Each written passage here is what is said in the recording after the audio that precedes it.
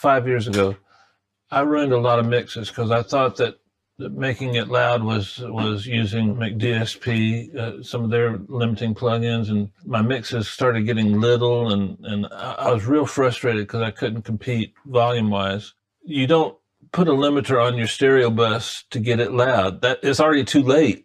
You've already committed to the mix. But if you use a limiter, mix into it. I do all my loudness moves when I start the mix.